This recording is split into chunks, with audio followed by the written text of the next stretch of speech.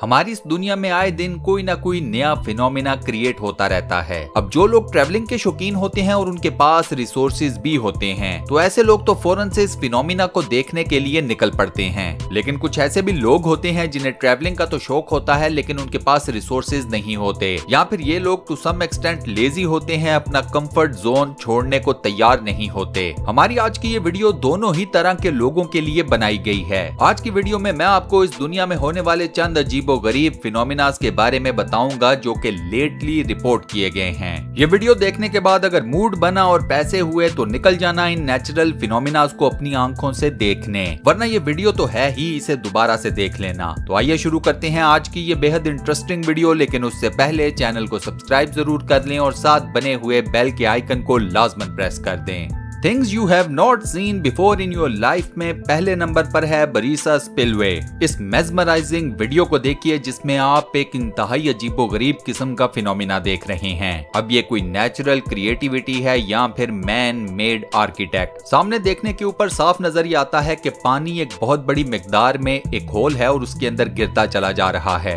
सवाल ये पैदा होता है कि ये होल है क्या? तो दोस्तों, ये होल है एक स्पिलवे ये एक इंतहाई डिफरेंट किस्म का स्पिलवे है जिसे एक डैम डैम के ऊपर बनाया गया है। इस बात में कोई शक नहीं कि ब्रीसा स्पिलवे डिज़ाइन के हिसाब से दीगर स्पिलवे से बेहद डिफरेंट है। स्पिलवे का काम आप जानते हैं कि जब डैम के अंदर पानी एक खास मकदार से ऊपर चला जाता है, बढ़ जाता है तो फिर इन स्पिलवे को खोल दिया जाता है ताकि पानी का लेवल नीचे चला जाए या नॉर्मल हो जाए। इसका फ़ायदा ये होता है कि पानी का प्रेशर ज़्यादा नहीं बढ़ता, जिसकी वजह से डैम की मजबूती को कोई खतरा लाक नहीं होता। अगर ये स्पिलवेज ना हो तो ये यकीन कीजिए कि बहुत सारे डैम्स खुद ब खुद पानी के प्रेशर की वजह से टूट जाएँ। ये खास किस्म का स्पिलवे जो आपकी स्क्रीन के ऊपर है, ये बरीसा लेक के ऊपर बनाया गया है। इस स्पिलवे की दो साइड्स हैं, एक वो है जो आपके सामने है और दूसरा डैम के नीचे मौजूद है। ये दोनों एंड्स एक बहुत बड़े पाइप के थ्रू आपस में कनेक्ट होते हैं। ऊपर वाले एंड से एक्स्ट्रा पानी पाइप के अंदर दाखिल होता है और दूसरे एंड से, यानी कि बॉटम वाले एंड से बाहर निकल जाता है। बरीसा लेक में जब कभी बारिश या किसी और नेचुरल फिनोमिना की वजह से पानी बहुत ज़्यादा बड़ी मिकदार में जमा हो जाता है। तो लाखों सयाह इस लेक के अंदर बने हुए इस अजीबो गरीब स्पिलवे को देखने के लिए यहाँ पर पहुँच जाते हैं। क्यों दोस्तों, क्या ख्याल है? है ना काफ़ी मेजमराइजिंग किस्म की वीडियो काफ़ी अजीबो गरीब किस्म का फिनोमिना मेरे ख्याल में तो है, लेकिन आप लोग क्या कहते हैं मुझे अपना जवाब कमेंट सेक्शन में ज़रूर बताइएगा।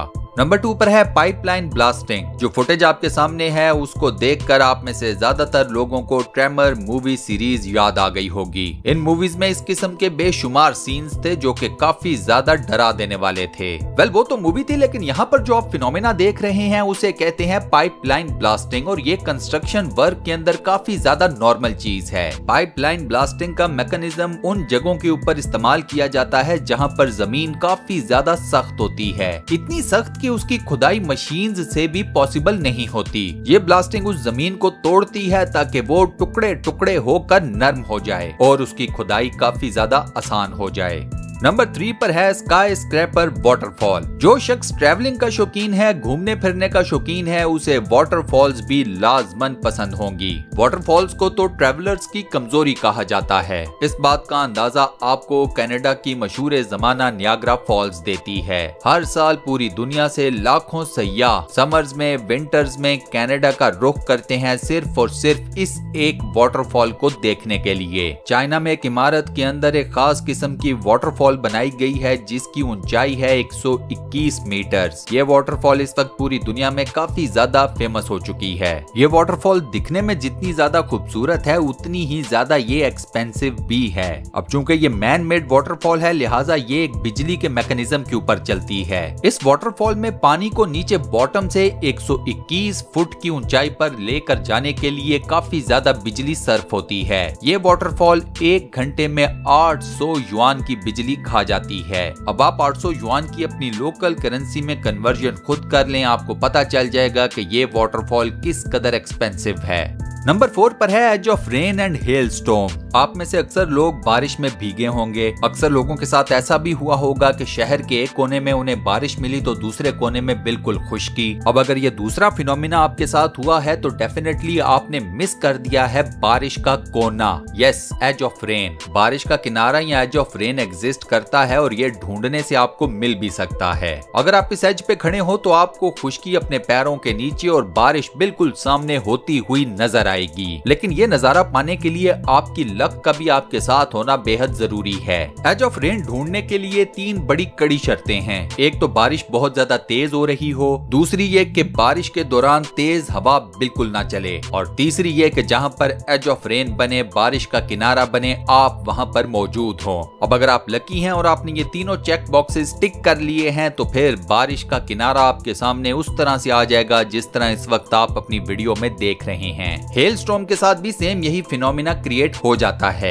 वीडियो में आप देख सकते हैं कि एक शख्स को हेल स्टॉर्म के अंदर एज ऑफ़ हेल स्टॉर्म मिल जाता है। ये शख्स जहाँ पर खड़ा है, वहाँ पर बिल्कुल किसी भी किस्म की यालाबारी हेल स्टॉर्म नहीं है। वहाँ बिल्कुल सूखा है, बिल्कुल खुश्क जगह है। लेकिन इसी शख्स से कुछ कदम दूर आपको ज़मीन हेल स्टॉर्म या यालाबारी की वजह से मुकम्मल तौर पर सफ़ेद नज़र आती है। नंबर सिक्स पर है पेपर स्कल्पचर्स। स्कल्पचर्स या मूर्तियाँ आप सबने देखी होंगी, लेकिन आई एम श्योर के कागज़ के बने हुए स्कल्पचर्स या कागज़ की बनी हुई मूर्तियाँ, ये शायद ही आपने पहले कभी देखी हो।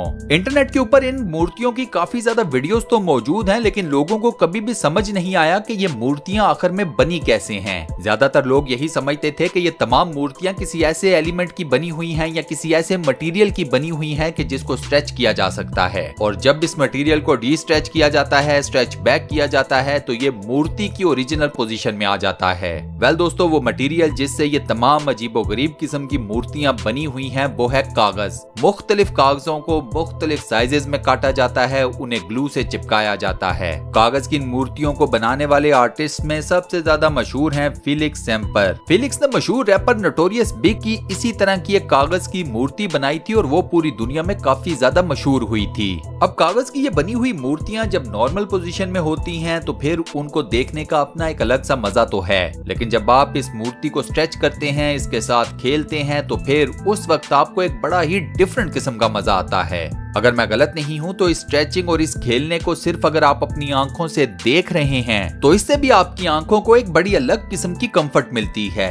और इसी के साथ दोस्तों, हमारी आज की ये वीडियो यहाँ पर होती है दी एंड आज की वीडियो में मैंने आपको दुनिया भर से जो अजीबो गरीब फिनोमिनाज दिखाए, उनमें कौन सा फिनोमिना आपको सबसे ज़्यादा पसंद आया, सबसे ज़्यादा अजीबो गरीब लगा और किस फिनोमिना को देखने के लिए आप अपने पैसे भी खर्च करने को तैयार हैं? मुझे अपनी चॉइस कमेंट सेक्शन में ज़रूर बताइएगा।